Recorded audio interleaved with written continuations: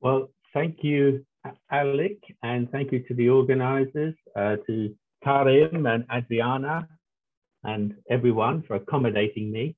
Um, I made it here at last. So I, I come to you from uh, Canberra, Australia.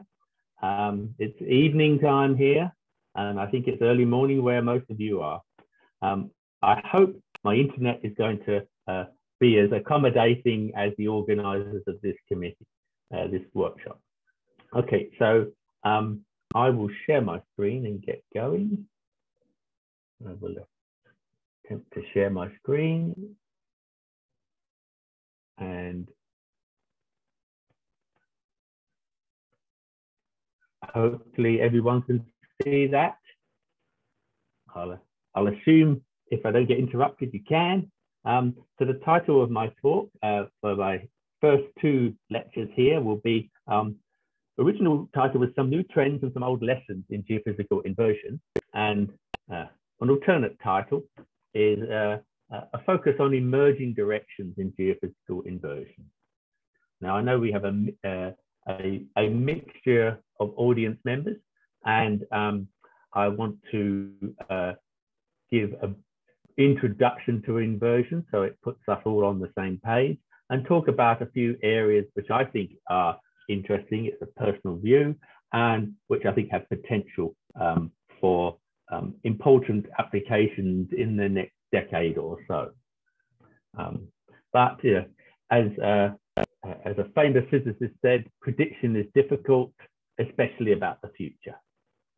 So um, there is a, a, review chapter associated uh, with this.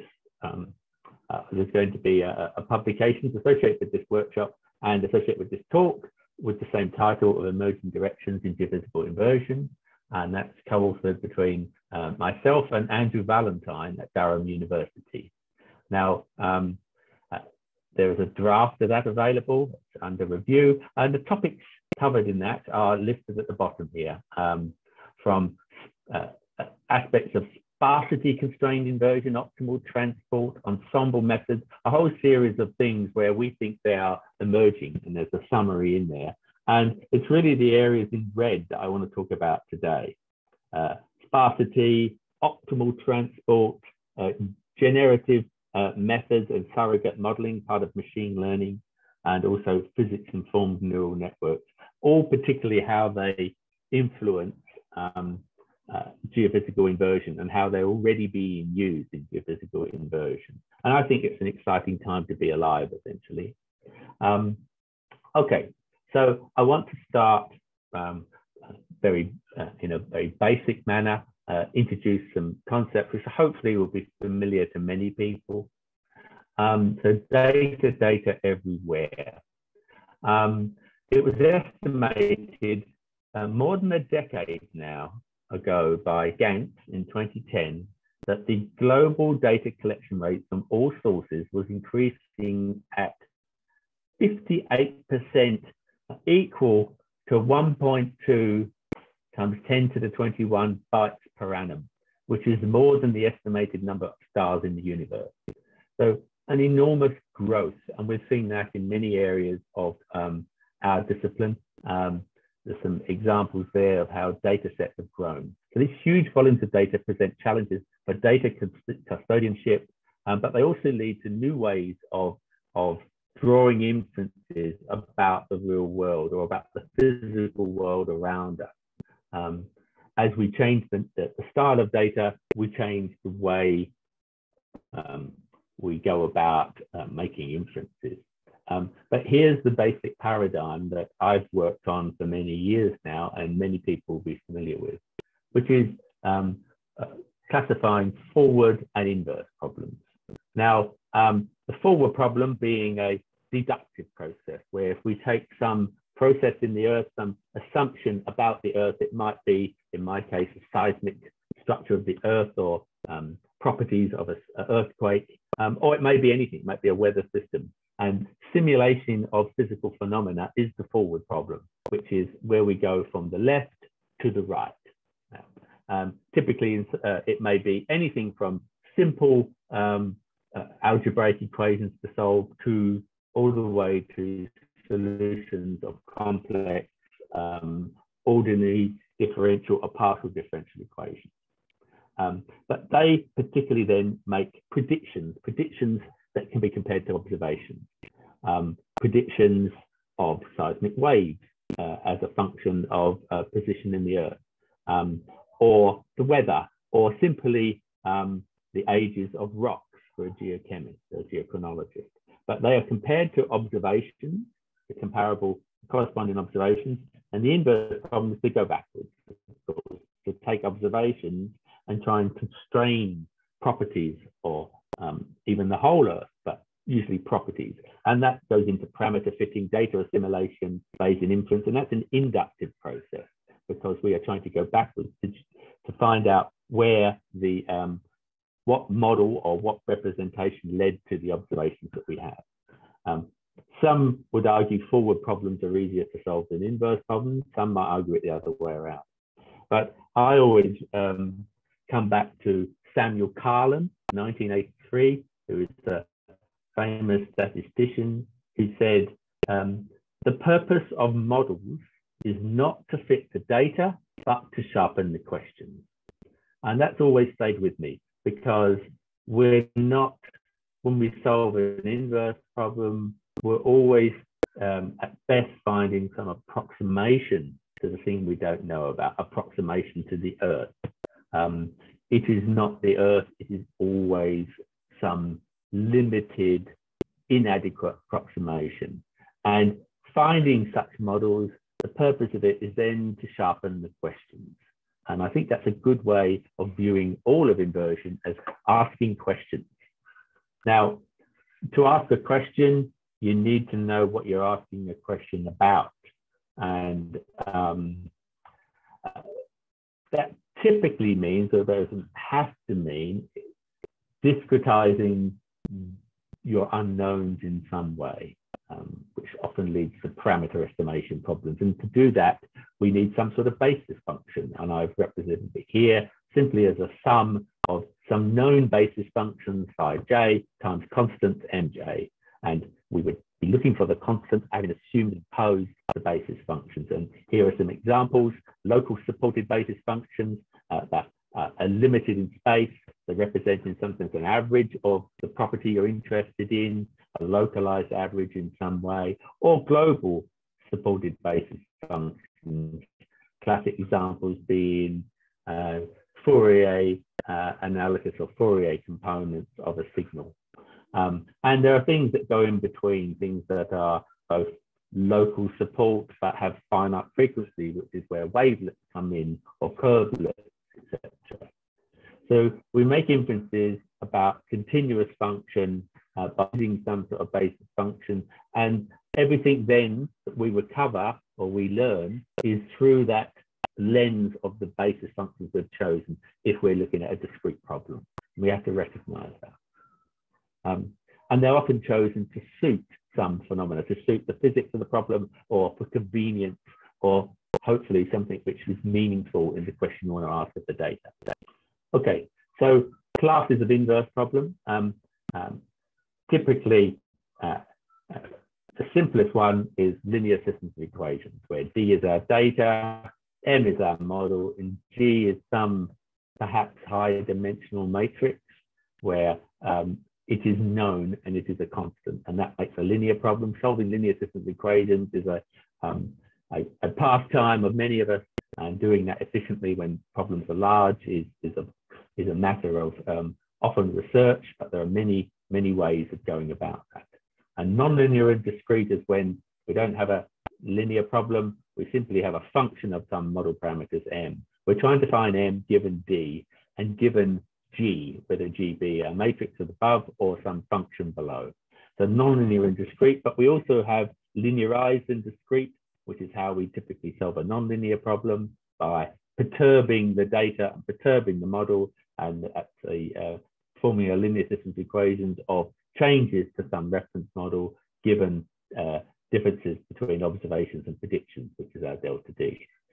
Much less studied, but also um, important are linear and nonlinear continuous problems as represented by uh, my two um, equations below there. Um, these are um, typically because we have big computers these days, we like to discretize problems and we usually cast one of the um, uh, more complex problems into simpler problems as in above.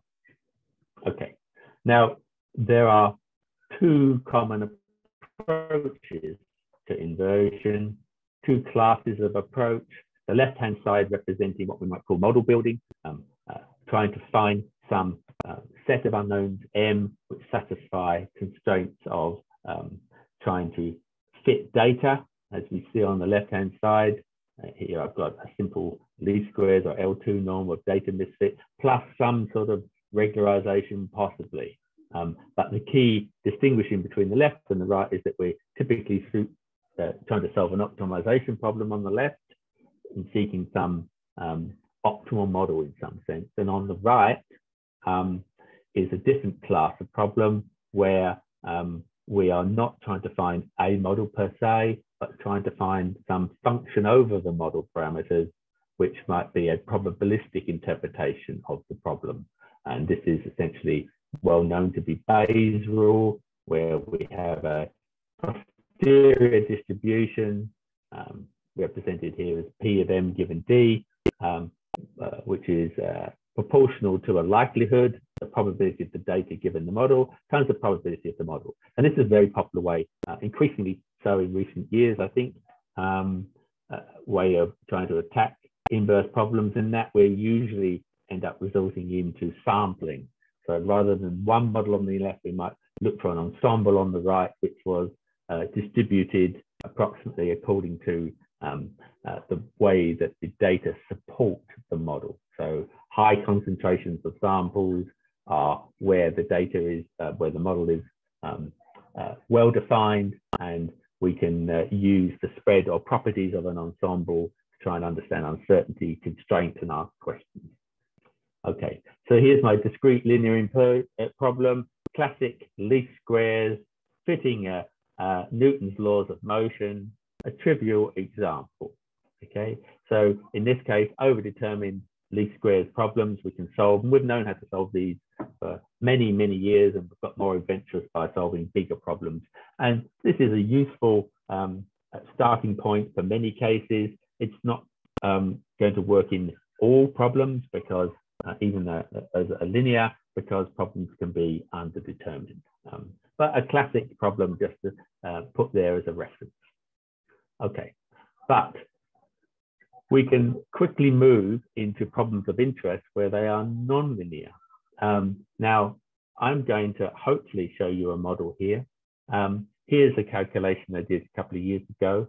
On the top left, hopefully you can see there a panel of four um, images where this is simply a one-dimensional seismic model of the crust of the uh, the, uh, the crust and the upper mantle. Oh, it's mainly the crust and lithosphere um, which is a shear wave speed as a function of depth in layers. Very, very simple.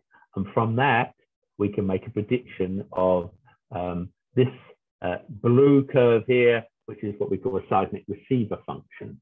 Um, it's a, uh, a product of um, seismograms that is cons um, constrains the near uh, surface structure. The blue is predicted Gray here is my sort of synthetic um, observe, observed inverted commas receiver function with noise. Um, now, what I'm going to do is play a little um, model, uh, play a little uh, movie, and you'll see the blue curve here is just the differences between what we might call predicted blue curve and the observed inverted commas gray curve. So we would like the blue to be as small in amplitude as possible, then the fit is best. And on the left-hand side, I'm just plotting essentially the sum of the squares of the areas of the blue. Now, what I'm going to do is move, change the velocity model, and I'm changing the wave speed here. The seismic wave speed in one layer.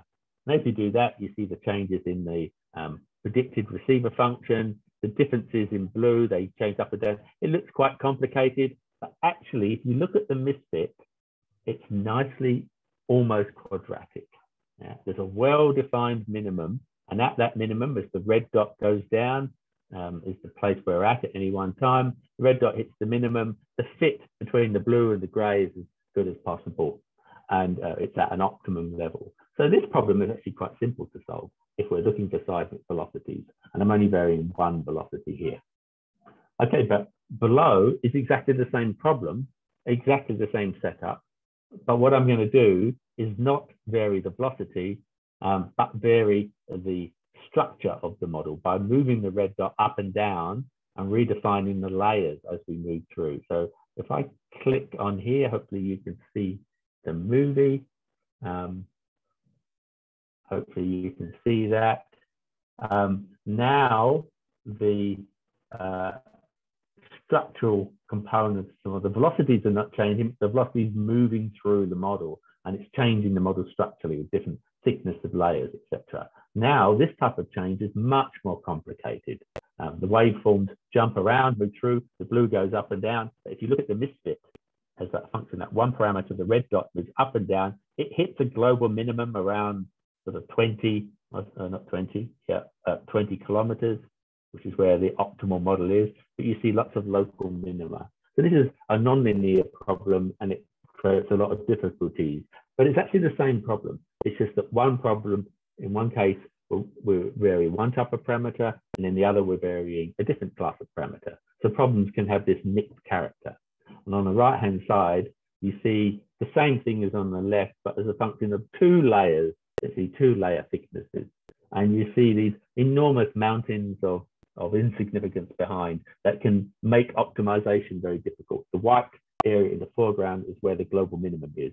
So dealing with this type of class of problem, as we vary two, three, four, or as many unknowns as we want, becomes exceedingly complex. The character of the misfit landscape is a function also of how we measure the fit to the data. So this is what I mean by highly nonlinear problem. Now, um, having paused just for a moment then on um, my, my, introduction to inverse problems, we have to deal with linear and nonlinear, they come in all shapes and sizes. I want to concentrate on a very particular feature called sparsity. Now, sparsity means emptiness. So, unlike what I've just described here, if we have a linear problem and which is non-unique, um, the left-hand side is a unique. Our misfit function is nicely quadratic and linear, and everything is wonderful. Right-hand side is a case where it's non-unique, and we have a, um, a, a region where all of the fits of the data given by this misfit surface. The misfit surface is a, a valley, and it's a constant, and along the line across the minimum there, there's no unique solutions along there, and we have an underdetermination. So in these problems, if we're trying to build a single model or find some uh, preferred model, as I described at the beginning, we need to introduce some sort of regularization or some sort of preferences expressed in terms of um, how we uh, go about minimizing um, uh, some function to get a optimal model in some sense. Now, um, the idea of looking for sparse solutions, and by sparse solutions, I mean uh, solutions which are encouraged to have many of their unknowns uh, zero or close to zero as possible. Now, um, that may seem a little strange. It turns out that um, the idea of looking for sparse regularization or sparse models, um, chiefly given by the term on the right-hand side here, which is um, the left-hand side is a data set, and on the right-hand side is a model norm, we call an L1 norm. I'm taking an L1 norm of the model and trying to minimize the combination of to data and an L1 norm is a simple way of trying to get encourage a sparse model. And the idea of L1 norm in geophysical inversion dates back at least to the 1970s when Claerbout and Muir used it to, essentially on the data side of the equation uh, to find robust data misfits. Um, and uh, John Scales in, uh, in the late 90s used it as a regularization term in seismic imaging, seismic tomography, um, to try and uh, find robust solutions to um, imaging, seismic imaging. So L1 regularization on the right then, I'm claiming encourages sparse solutions to underdetermined problems. Um, it, it's indicating that we prefer the models to be zero, and we'll see why that might be a good thing in some cases, but it doesn't guarantee it. Uh, actually, if you wanted to um, guarantee a truly sparse solution, we should put in the L0 norm in there. The L0 norm is essentially a measure of the number of non-zero components. Um, the L1 norm is just summing the absolute values. The L0 norm says we prefer um, a fewest number of non-zero components. And you can see how that directly means sparsity. Unfortunately, if we use the L0 norm, we can't usually solve the problem because it's too hard. It's what we call NP complete. It's extremely difficult, especially as the number of unknowns increases. So L1 is a good compromise um, to try and get smooth solutions or practical solutions to these problems. Now, a fascinating um, idea that we'll talk about in a moment comes up when there are, here figuratively, um, all solutions to inverse problems are in the green, let's say in a problem, and all solutions are sparse are in the blue. And there's a particular case, and I've, I've said it above without definition, that when our sensor basis is incoherent with our model basis and the model is sparse, these two conditions I'll mention again in a minute, are the conditions of a well-known field of called compressed sensing. Now, what that means in, in layman's language, in simplistic terms, is that essentially every measurement constrains as many of the unknowns as possible. That's where incoherence would encourage. And the number of unknowns that are non-zero are small. If you have that situation, then you're in this position where even though there's an infinite number of models that fit the data, um, because the problem's underdetermined, and there's always an infinite number of, well, a very large number of ways problems can be sparse, it turns out the intersection of these two is very small.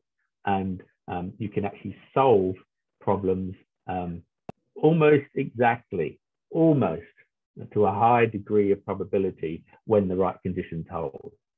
Now, I want to jump to where this is coming in because um, this is the underlying theory of uh, Candès, Candès and Tao, Donoho, Tolters, and uh, Felix Herrmann was one of the first people in our end of the woods, our discipline, to, uh, to jump into this idea of compressive sensing. Um, now, compressive sensing, here's a simple example. More formally, if the data are represented as a sum of um, um, the sorry the, the the data are measured by what we might call a sensor basis. That's the type of data we collect. If we imagine a, a, time signal, as in the top right here, the red dots are where we measure the time signal, then our sensor basis, because we're simply measuring the amplitude, would be a delta function. We could measure the frequency, or we could measure the average over a period of time. There would be different sensor bases. Um, but if the sensor basis and the model basis, that's how we represent the underlying model, um, that, that might be constrained by this data, if they are incoherent in that data constrained many model parameters and the model is sparse, it turns out that you can recover um, models with high precision. And in this case, I'm simply saying that my model basis are the Fourier components of the data. So I'm just trying to do um, simple regularize, uh, simple uh, regression. I'm trying to recover the data from the red dots. Now, if this condition holds, where the two bases are incoherent, it turns out, and they are, if you use amplitude of a signal and Fourier components, many of these authors have shown that you can get near exact solutions with relatively few um, random samples of the data. And that's the idea behind compressive sensing in a nutshell. And here's a simple example, okay? I'm gonna measure um, data on the left of some band limited signal, and I'm gonna um, try and recover the Fourier components of it on the right. So the right are my model parameters, the left are my data, and I'm only sampling at particular points. Now, uh, if I use um, a sparsity constraint, um, I use p equals one there, that's the L1 norm. p equals two would be the least squares constraint. We could try and recover the Fourier components from the data using an L2 P equals 2 approach or an L1 sparsity-based approach. I'm going to show you very simply two examples of that. This is what happens if you try least squares on that problem. Uh, you the green, the blue is the original data, the black is where I've sampled it, the green is where um, is the model recovered by uh, finding a uh, least squares solution to this where I'm minimizing the L2 norm of the data while trying to fit the data as well. And you can see that we fit the data exactly. The green lines pass through all the black data points. As you would expect, it's an underdetermined problem. We can always do that. But between those, the green is a very poor approximation to the blue true signal. We only know the signal blue at the black points.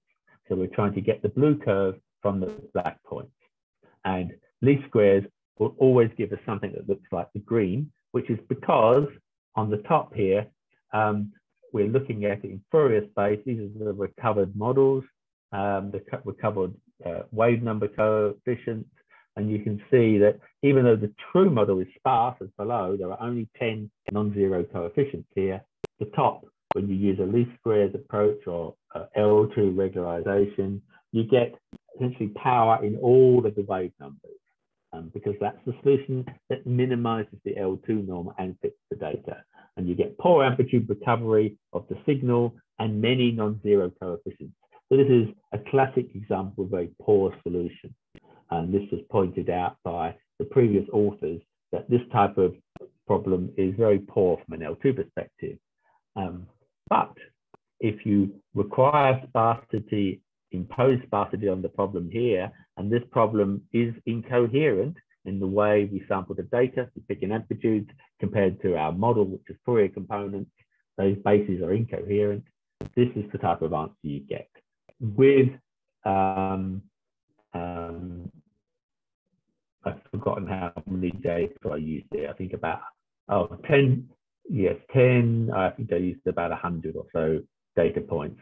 Um, so there are 10 finite coefficients uh, on the top right of what's recovered. On the bottom right, a true example, the true, the truth in this case, and you see basically a near exact recovery.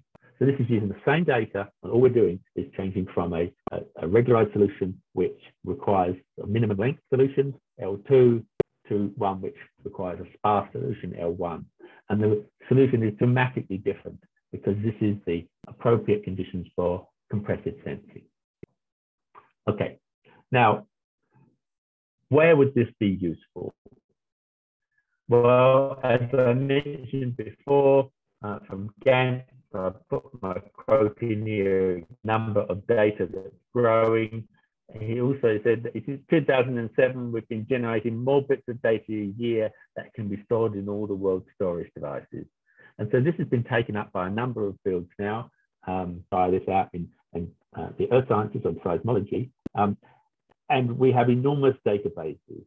Um, the idea behind compressive sensing is that um, we could perhaps not collect all that data, but collect random samples of the data and then use compressive sensing to either reconstruct the data, and if the circumstances are right, we can do so with higher accuracy, or use the um, limited data and um, combine the idea of reconstruction using the inversion as part of the analysis of the data.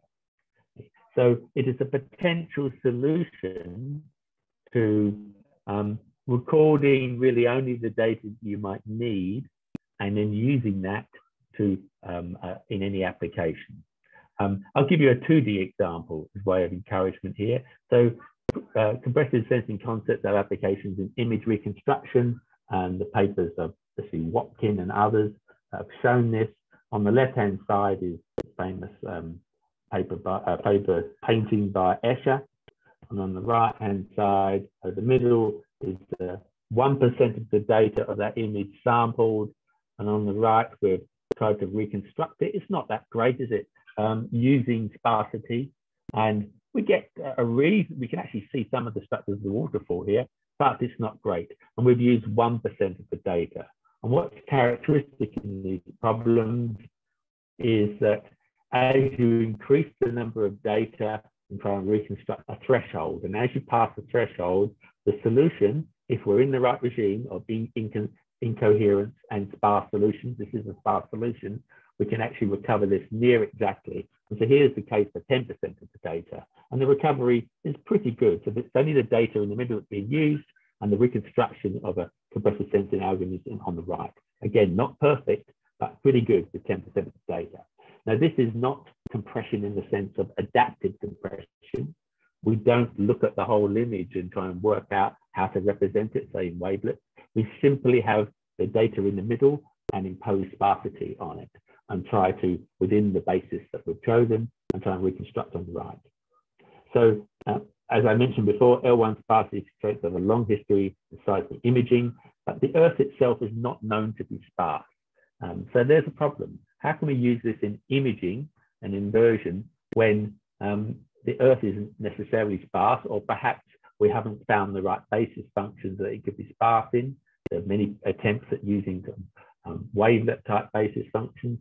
And I want to sort of uh, present what I think is an interesting direction here by um, uh, my PhD student with Andrew, Lisa Trunter, who's at ANU, and she's uh, looking at this concept of over-complete tomography. Now, in this then, um, if you look at the image in the bottom right there, we have a smooth model. It's a simple linear tomography problem. We have a smooth background model given by the gradient. And on top of that, we've imposed a pixelized perturbation. Now, both the background smooth model and the localized pixel model are sparse. They're sparse in different bases. Now, the theory of compressive sensing works in a single basis.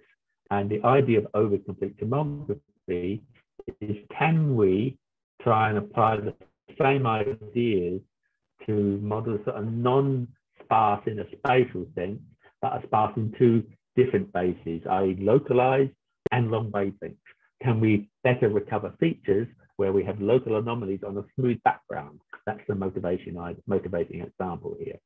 And I'm going to show you some of Lisa's results in this, just a movie. Um, on the top here, we're going to see results from an over-complete in the over-complete box and from simple least squares. And by that, I, I simply mean regularizing with a sparsity maximizing constraint on the left and on a, um, a minimum length on the right, an L2 norm, and we'll see what happens. On the left-hand side, you see the ray density, and what we're going to see is a sort of multifaceted movie in a moment. Um, here's a, a, a, typical over-complete with a very only 10 rays in the problem. It, it's performed poorly. And the top is the, um, uh, the model. The bottom is the difference between the model and the truth. It's a simple synthetic case. And in the two little boxes, I'm showing you the projections in this over-complete, the solution from the discrete case in um, E2 and the long wavelengths in E3.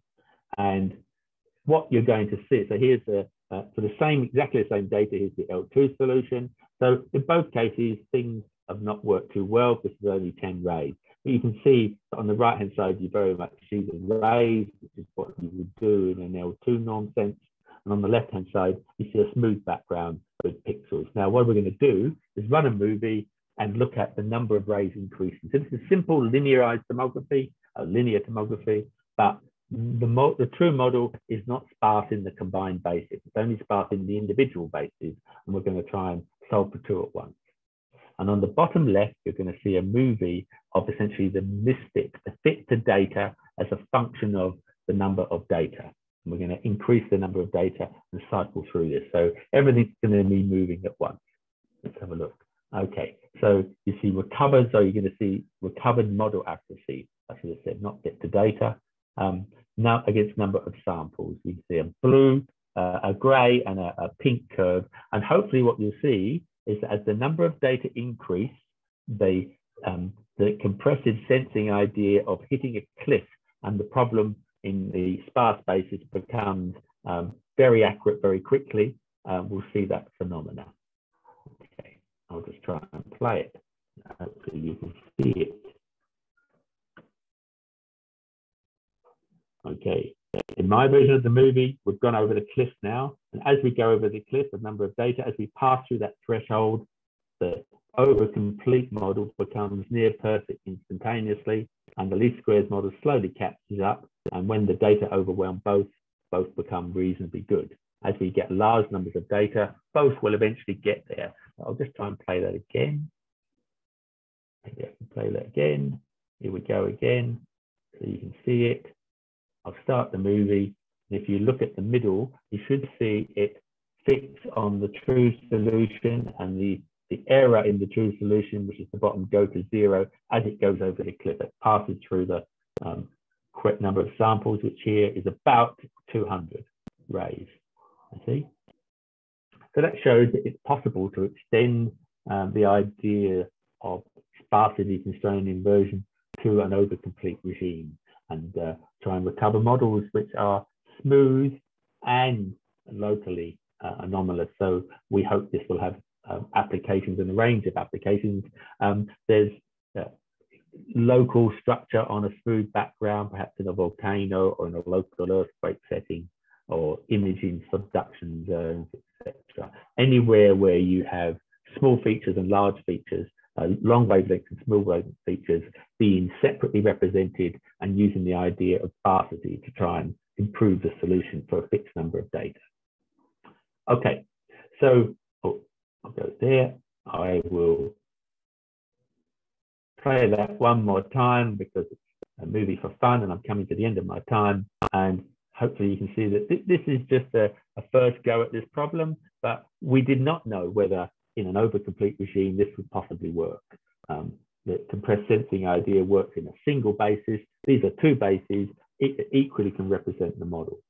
And it turns out with a bit of effort and a bit of tweaking and choosing your trade-off parameters in your regularization, which is the same you know, problems you have with all, all such cases, you can get um, over complete type problems to work. There's nothing about the linearity in this that is important. You could apply this to nonlinear problems or any other pairs of bases, or even more bases, triples of bases or quadruples, but the problem gets bigger and bigger and they um, more difficult to solve. Okay, so I think I've come to the end of my first part of my lecture there, and um, I will uh, pause there as we reach 43 minutes. Yes, we, we, reach 43. It's, we will have a 10 minutes break. But Malcolm, are you disappeared immediately or you are still with us? Mm -hmm. Yeah, you are still with us. There is a question. I'm still with you. Just a very brief question because it's the last uh, last slide yes. was uh, really exciting in terms of the understanding the sparsity and so on and how it influence the results of the inversion. Meanwhile, what about the model? If model